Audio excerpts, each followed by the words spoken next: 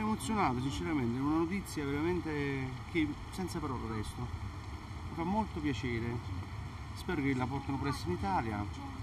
Sono emozionato, guardi, mi ha dato una notizia splendida, spero anche per gli altri sarà così.